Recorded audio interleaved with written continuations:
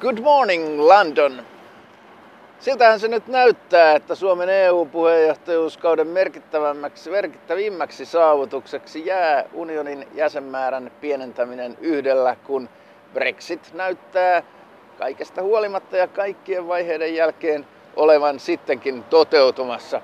Mutta ei syytä huoleen, sillä tämähän vain tasapainottaa tilannetta, kuten hyvin muistamme 20 vuotta sitten Suomen ensimmäisen EU-puheenjohtajuuskauden huipentuma oli se, kun messukeskukseen Helsinkiin lennätettiin itsensä Turkin pääministeri Bülent Ecevit ja näin avattiin Turkin jäsenyysneuvottelut Euroopan unioniin. Sitten minä on vähän kangerellut, mutta Suomi ainakin selviää tästä nyt tasapuolisesti. Välillä yksi sisään, välillä toinen ulos. Tässä viikolla vietettiin maailman ruokapäivää ja sen kunniaksi Helsingin yliopiston opiskelijaruokailusta vastaava Unicafe ilmoitti luopuvansa naudanlihasta ihan tykkänään keväällä. Ja tästäkös tietenkin keskustan poliitikot pillastuivat aina ministeriä myöten, mutta sen verran voin kyllä sanoa, että kannattaisi keskustalaiset tehdä pikku ekskursio sinne Unicafeeseen, nimittäin itse olen tehnyt ja havainnut, että heti pääkaupungin humuun päästessään maaseudun tytöt ja pojat kyllä hylkäävät maidon. Unikafeessa menee litrakaupalla mehua. No torstai-iltana oli keskustan puoluetoimistolla kekrijuhla ja sinne piti tietenkin änkeytyä vähän vakoilemaan, että mitä se keskusta oikein sitten panee ruokapöytään, kun pöytä pannaan koreaksi. No ainakin villieläimiä oli tarjolla.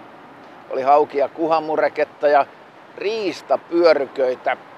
Mutta oli käärmekin hiipinyt paratiisiin, nimittäin härkispyöryköitä oli tarjolla.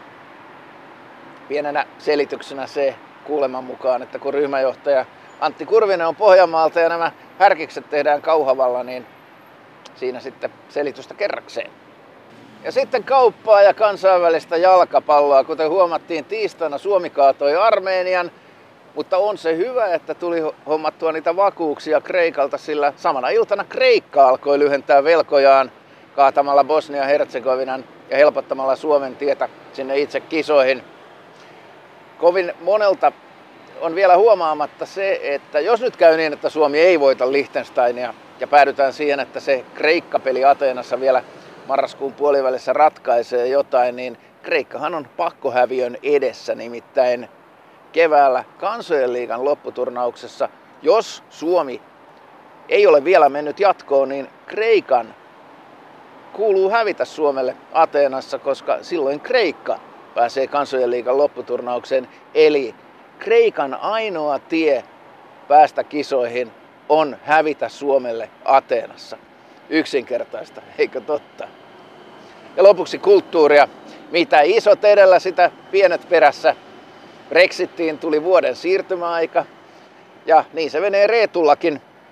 Iskelmätähti Frederik nimittäin ilmoitti lopettavansa uransa, mutta vasta vuoden 2020 lopussa kiertueen jälkeen, eli Frexitissäkin on vuoden siirtymäaika.